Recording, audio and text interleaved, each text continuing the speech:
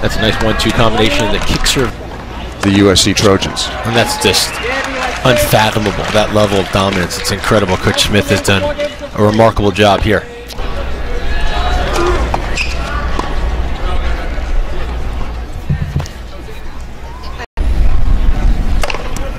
Well, that is some heat Wow. wide. Look out.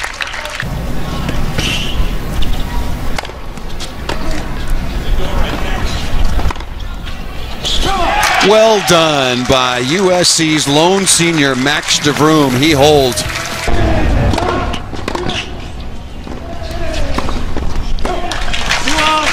Nice combination there as well.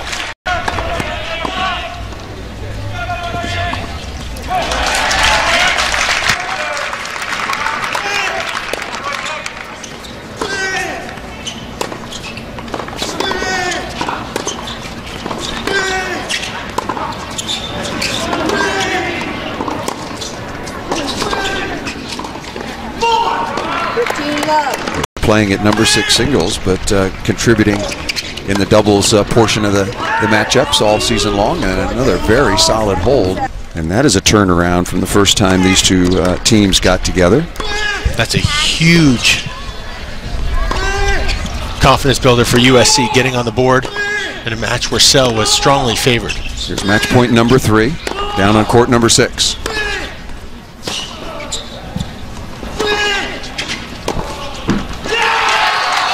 Wow, That's Bellamy very- staying alive.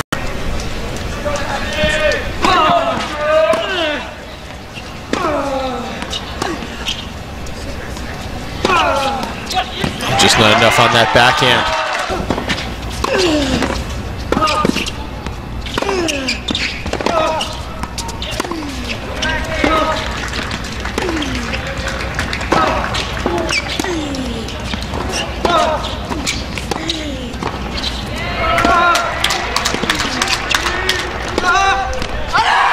Impressive by Forget.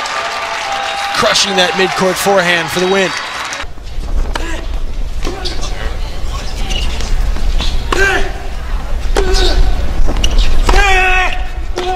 And there it is.